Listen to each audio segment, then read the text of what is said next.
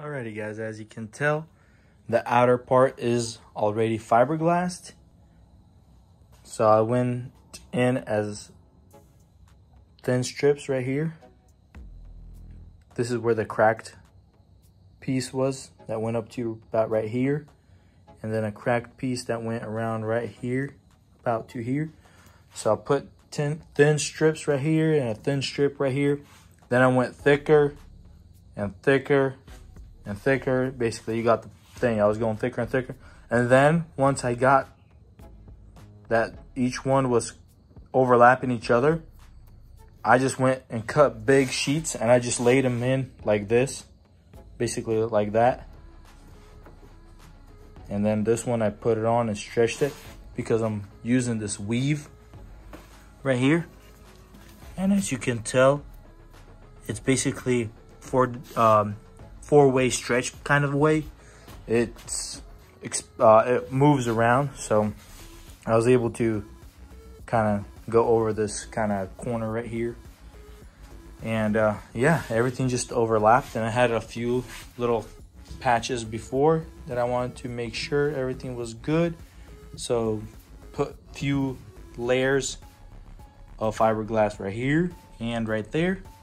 And so far, I believe this is pretty much it that I can tell off the top of my head. But I do notice that there's a spot right here that's cracked. As you can tell right here. It's been repaired here, but there was no mat used there. So I'm going to groove that all out up to here.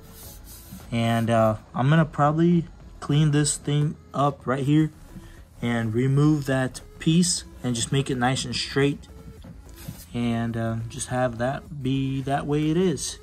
And then uh, that's the only fiberglass I think that's known to be needed to fix. And yeah pretty much this is how it's gonna pass out. Uh, we'll have to do some sanding here. Some nice 80 grit. And uh, shave all this down and fine tune it and then maybe just glaze it lightly just with some resin. And uh, see if we can fill in any of the holes.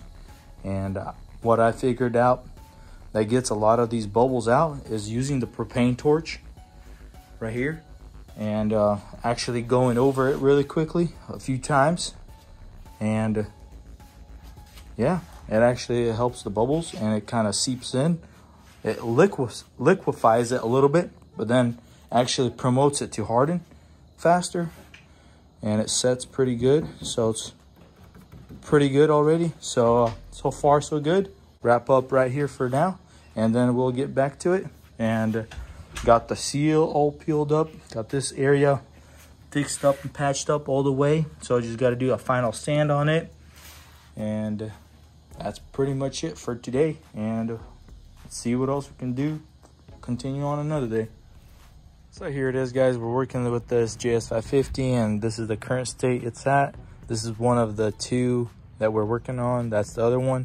And this one, I'm getting ready to clean up the inside of the engine bay.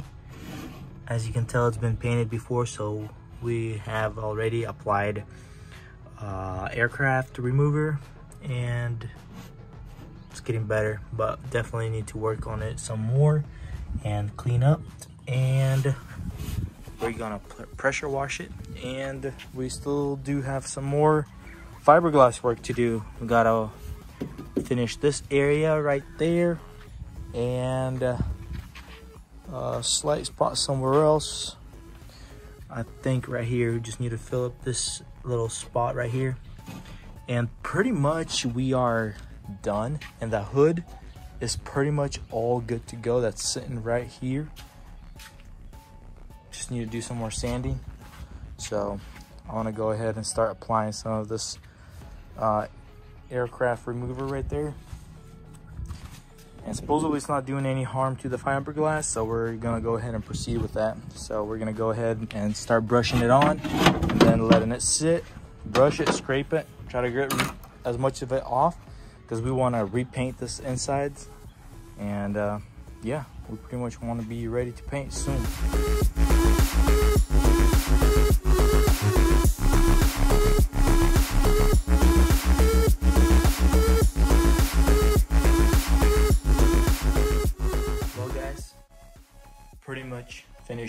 All the fiberglass work now. We just got slight sanding to do. So we got a little patch right here. Had a crack right here. Had to groove it all out.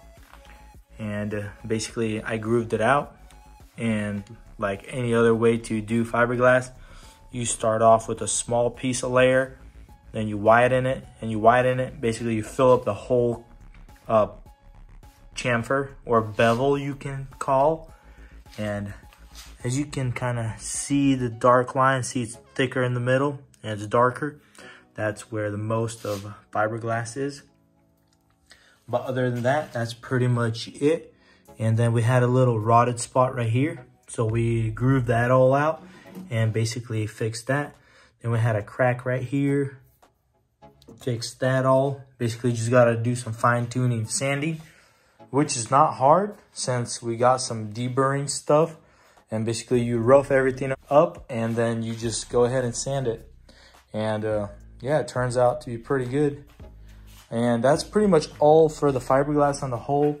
And the pole that is laying over here is pretty much good. It's pretty much sanded and ready to go. And uh, yeah, and same as the hood for this ski.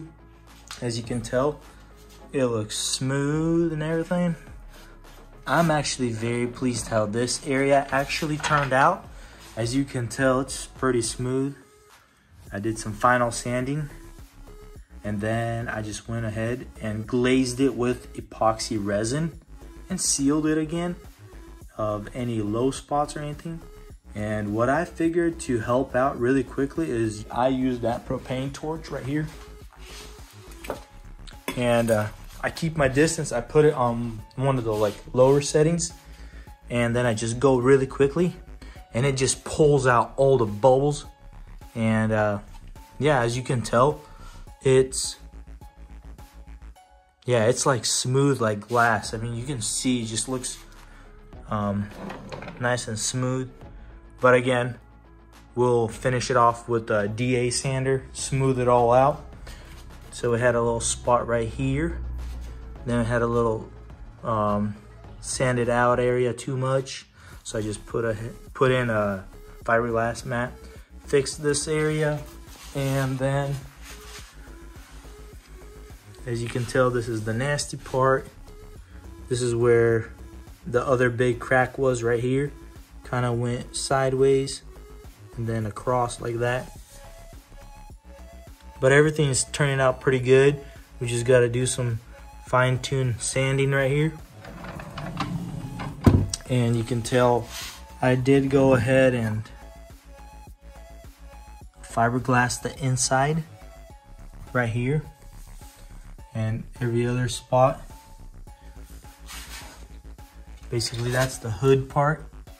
Fiberglass that went really heavy on the inside since I don't want this hood to crack so I did it does not look the best inside but I will clean it up some let's see if I can turn it up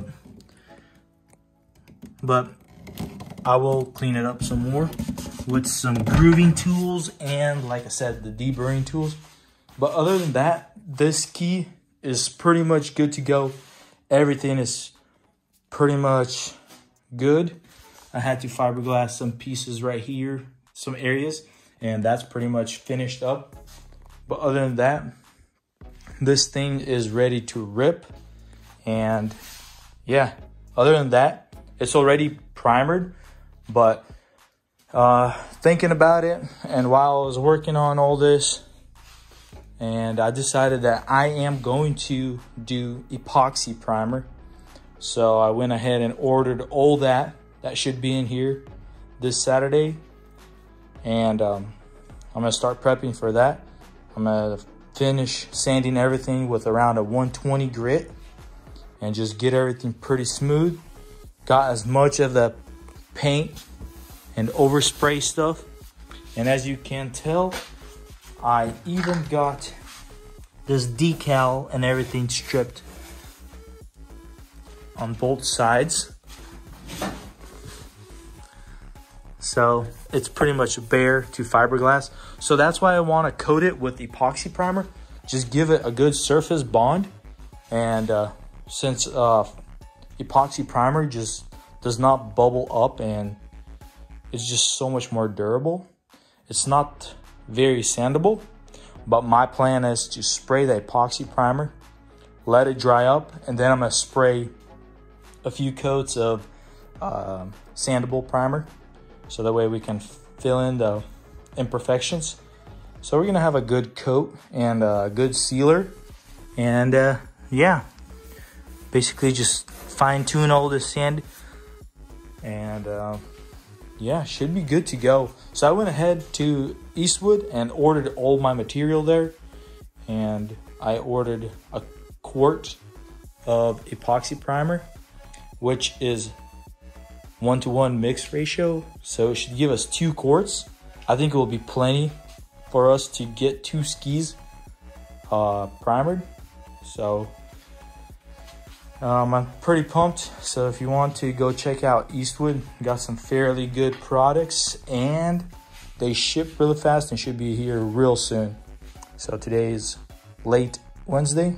It should be here Saturday, so it's pretty quick. And uh, yeah, they have some pretty good deals and, and stuff like that. But other than that, for this ski, we still have to peel up all this resin, which I know a pretty decent way to get this stuff off. I have some of this Hyline, something like that. Um, basically, when you put it on the sticky stuff, it makes the glue kind of rubberish. And then you use like a scraper and that stuff just slides right up. So that's a pretty easy way. And as you can tell, I tested it right here and it cleaned it up pretty good. And uh, yeah, so we'll go ahead and clean all these up and then uh, we'll spray some epoxy primer and then go from there. And this thing should be getting ready for paint. But yeah, this is a long process, takes a lot of time. And once we get the primer on there, things will start looking so much better. Prep work is like key. So that's why I want to use some good stuff, seal everything up since this ski's been painted before. And as you can tell, it had some kind of primer on there. So I want to get all that sealed up and covered. Trying to sand as much of that stuff off and all the stuff where it's pretty bonded, I'm just keeping it. But other than that, should be good to go. And we'll seal it all up so that way the paint will be even. There won't be no discoloration in the paint because everything will be primered. Everything's gonna be the same. Nothing needs to be blended. But yeah, guys, if you like this video, stay tuned. I got some great announcements to make possibly in the next video. Um, so yeah, super pumped. Check out my Instagram, uh, built to run. And uh, yeah, we'll see you guys in the next video. So peace out.